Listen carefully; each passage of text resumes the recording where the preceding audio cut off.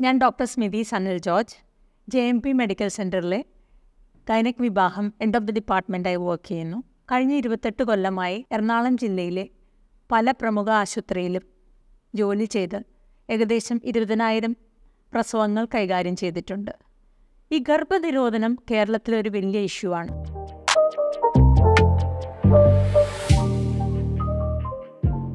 Pregnancy avoid ചെയ്യാനായിട്ട് usually use ചെയ്യുന്ന ഒരു മെത്തേഡാണ് ഐ പിൽ.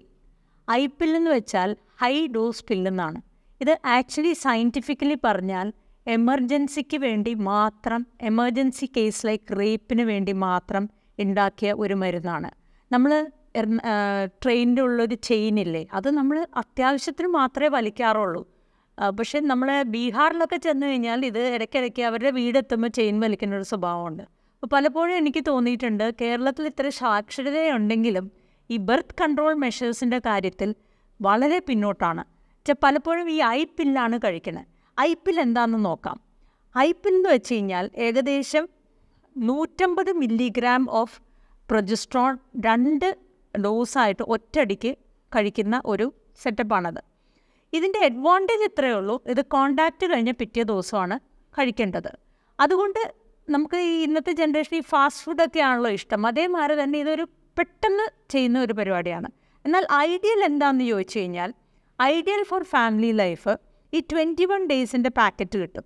ഈ ട്വന്റി വൺ ഡേയ്സിന്റെ പാക്കറ്റിൽ എങ്ങനെയാണെന്ന് വെച്ച് കഴിഞ്ഞാൽ ഈസ്ട്രജന്റെ കണ്ടന്റ് തേർട്ടി മൈക്രോഗ്രാം ആണ്. മൈക്രോഗ്രാം എന്ന് പറഞ്ഞാൽ ഒരു മില്ലിഗ്രാം ഈസ് ഈക്വൽ ടു ആയിരം മൈക്രോഗ്രാം. അപ്പോൾ തേർട്ടി മില്ലി മൈക്രോഗ്രാം ഉണ്ടെങ്കിൽ ഇത് ഇരുപത്തൊന്ന് ദിവസം കഴിക്കുമ്പോൾ നമ്മുടെ ബോഡിയിൽ എത്തുന്ന dose is less than one milligram it is only six hundred microgram അതേമാതിരി ഇതിന്റെ ഉള്ളിൽ പ്രൊജസ്ട്രോണും ഉണ്ട്. ഈ പ്രൊജസ്ട്രോണിന്റെ കണ്ടന്റ് ഏകദേശം ത്രീ മില്ലിഗ്രാം ആണ്. അപ്പോൾ ഈ ത്രീ മില്ലിഗ്രാം ഇരുപത്തൊന്ന് ദിവസം കഴിക്കുമ്പോൾ ഏകദേശം അത് സിക്സ്റ്റി വൺ മില്ലിഗ്രാം ആണ് കഴിക്കുന്നത്. ഇത് ഇരുപത്തൊന്ന് ദിവസം സ്പ്രെഡ് ഔട്ട് ചെയ്തിട്ടാണ് നമ്മൾ കഴിക്കണമെന്ന് മനസ്സിലാക്കണം.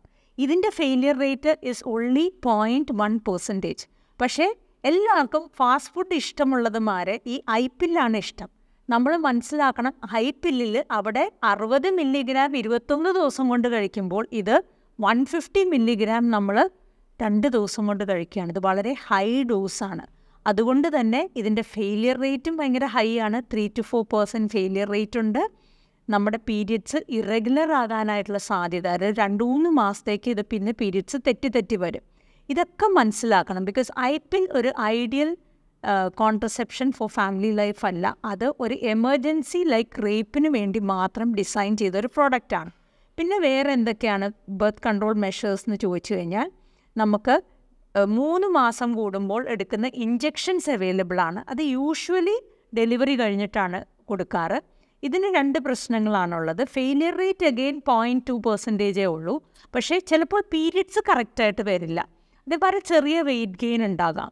അതാണ് ഇതിന്റെ പ്രശ്നം. പിന്നെ കോപ്പർട്ടി തരത്തിലുള്ള സാധനങ്ങളുണ്ട്. ഇത് യൂട്രസിന്റെ ഉള്ളിലേക്ക് ഇട്ട് കൊടുക്കുകയാണ്. ഇത് ഡെലിവറി കഴിഞ്ഞിട്ടാണ് സാധാരണ നമ്മൾ ഇടുന്നത്.